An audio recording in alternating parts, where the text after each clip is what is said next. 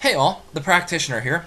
Um, I'm posting a video response, or more like a, a, follow-up video to my uh, video, Why Are We Even Testing Paranormal Claims? We Should Know They Are Fake. Um, this is in particular respond. This is in particular um, directly inspired by something Anonymous247N said on the comments. Um, this kind of stuck in my craw. Well, not really stuck in my craw a bit, but you know, it um, it, it, was kind of a, uh, it was kind of something that it was almost like some people, uh, you know, even my fellow skeptics are missing the point of my argument. Um, let me read you what he wrote, and then I'll um, uh, kind of do my rebuttal. I've already posted a rebuttal in the comments of my previous video to him, but I wanted to post this in general for people to watch to get the idea of what the whole problem is here um, with the skeptic challenges and anomalistic psychology, uh, with uh, basically when it comes to the pseudo-scientific standing, um, as to how the skeptic challenges the um, anomalistic psychology and parapsychology are pretty well all in the same boat.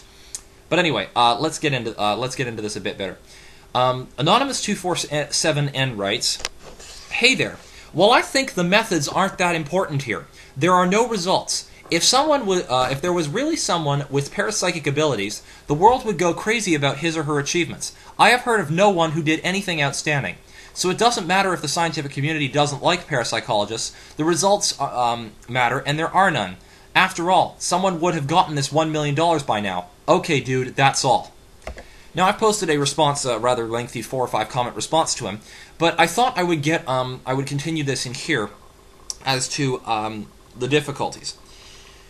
Um, I know I would cover. I promised I would cover a few of these in the background, but um, I'm going to cover a few here. Well, besides the lack of theory issue, which is one I expounded on uh, greatly in the last video, there are a couple of major flaws um, which the entire scientific system, and I'm talking parapsychology, anomalistic psychology, which is the uh, skeptical uh, psychological um, research of paranormal experience and the psychological factors uh, uh, uh, pertaining thereto, which also includes testing for paranormal abilities um, the and also as well as skeptic challenges, all have a couple of very big um, experimental flaws in them, and uh, uh, uh, uh um, and unfortunately, um, well as uh, parapsychology and anomalistic psychology um, do try to a certain extent to remove some of these, uh, try to compensate a little bit for this by peer review. It doesn't really have that much effect, and the challenge is even worse off because of the fact they don't peer, they don't the challenges are worse off because of the fact that they do not uh, they haven't submitted their results uh, to peer-reviewed scientific journals yet to even check to find out if their methodologies are say um, are are legit anyway. Um, but anyway, that's neither here nor there. The um, the the particular problems which are uh, uh which de- which definitely have been involved in all three are um, uh, uh, are particular are particularly twofold. Uh, one of which is the statistical techniques which have been used, uh, and this is one of the, um, the statistical technique argument has actually been one that's not leveled not just at parapsychology but at psychology in general and behavioral research, which is that the uh, the past uh, century or so, uh, somewhat of, of, psychological research has been using conventional inferential statistical techniques. You know, Z tests, T tests, uh, etc., to uh, measure effects um, in psychological format. But there's been more criticism recently, and they've been t- uh, there, there's been some stronger um, uh, there's been some stronger research to suggest that previous research in a large chunk of areas may have in fact been flawed because Bayesian statistics uh, should have been um, the, um, Bayesian statistics and effect size research should have been used more in uh, behavioral research than conventional null hypothesis testing techniques. So uh, incorporating Bayes factors into, into statistical calculations, um, you know, that sort of thing. The second major problem, however, and this is one leveled directly at para, um, this one is leveled uh, directly at uh, para, uh, parapsychology, anomalistic psychology, and the skeptics challenges, is um, is failing to take care of a very uh, sorry is is failing to take care of a very basic form of experimenter bias. Um, back in the 1950s, Robert Rosenthal, his uh, and his gra- his graduate student Fode, um, but, uh, did some research on uh, empathy testing, uh, on um, on testing um, whether people could actually determine the um, c- uh, could actually determine the um, the emotion of a person in a photograph. You know, like just based on facial expressions or what have you. What was what they did, however, was they actually got a series of experimenters, um, you know, grad student experimenters, uh, and told them that they would be paid uh, that they would be paid for each successful replication they got from study to study, like physics uh, students are expected to get. And what they did was they randomized up the system, you know, double blinded, and they told one group of experimenters, uh, you know, one randomized group of experimenters, that the subjects would successfully be able to um, recognize the emo- uh, recognize the emotion, and the other set would fail. Uh, you know, their su- test sorry, their test subjects would fail to uh, recognize emotion.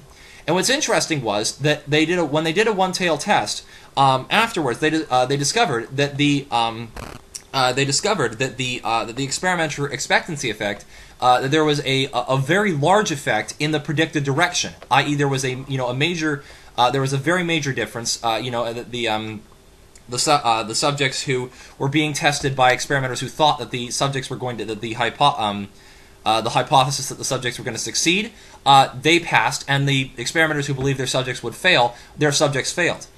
Um, what does this have to do with parapsychology? The problem is, is that uh, this has been known, uh, by the way, as the experimenter observer effect. In short, there has been um, uh, ever since Rosenthal's work and even replication studies afterwards, there's been plenty of evidence to demonstrate that in psychological studies and behavioral research, that a um, that what can happen is that a subject, an experimenter, uh, uh, particularly in psychological research, an experimenter can communicate their belief as to whether or not a subject will uh, pass or fail, uh, uh, um, you know, will will succeed or fail at an experiment. They can communicate the hypothesis or the experimenter's belief through much the same body language as can communicate placebo or medicine group in a single blinded medical study um, to the subject, and thus influence their behavior um, when being tested in a, in a, scientific experiment. In parapsychology, um, you know, or in parapsychology, or with skeptics' challenges, or with anomalistic psychology, this in particular is a very major problem because belief or skepticism of an experiment, uh, belief or skepticism of an ex- uh, in an experiment, could influence a subject's uh, performance uh, to statistically significant or to remain at chance levels, if, and here's the if, the method with the methodology um, you know, if the physical methodology is flawed. Like if the equipment's not set up right, or if there's lack of uh, proper control of sensory leakage or stuff like that, um, uh, or lack of randomization. If any one of these, um, if any one of these factors is even there in the slightest, and there is a um, then the uh, the belief or skepticism of the experimenter could actually influence results. The problem with this is that if um, if the experimenter observer effect is influencing subjects, then there is no way to properly tell whether or not the methods used by either the skeptics or proponents are actually methodologically sound. So in short, the uh, so in short, because of this problem, um, because of this one very basic flaw which has not been taken controlled, uh, um, control, uh, which has not been controlled for, um, the results from the one million dollar challenge, or the skeptics challenges, or the parapsychological studies from a century and a half, or even the tr- the replication attempts by skeptics, none of those results mean anything. They are, you know, they are, the results are meaningless because the study has not been properly controlled for. Um, one of the easiest ways to control for the one of the easiest ways to control for this, and uh, even uh, I even had a chat with Chris French on the phone about this, but one of the easiest ways that would be dealing with this is to simply communicate instructions to a neutral experimental assistant, uh, you know, a completely neutral experimental assistant. Just communicate instructions uh, to give to the subjects for their uh, for their you know for the task uh, for the side task or what have you. Send them those instructions by email, then talk to them directly after the study has been conducted, um, and have that neutral experimental assistant interact with the subjects only. This way, um, the and and have the experimenters, believer or skeptic, view the uh, view the experiment from a closed circuit television camera after having set it up. This way, they can test the subjects, but not directly interact with them, and thus not influence their performance. So even if they still get high statistically significant rates, you can then go back over the study methodology, find out if it was flawed, and do a repeat. Um, or and if it not, and it still gets a repeat, then we could know whether or not. Um, or if uh, if the experimenters were one step removed and we still found nothing, then we know for sure that there was. Then we, you know, reasonably. Then we, uh, and we still found no, uh, no results. Then we know that there were no psi powers. Um, or if we found results, then we know that there were. I am a skeptic because there is no evidence to date. However, we have not. Uh, however, what I will state is that because of these issues of lacking uh, of dealing with proper, um, because we have not controlled for the experimenter observer effect, um, which is a form of ex- and which is a basic form of experimenter bias. uh, because we've not controlled for that, and because we have not controlled, uh, you know, because we have not used Bayesian or other statistical methods, you know, which are properly sound, the results at present are moot.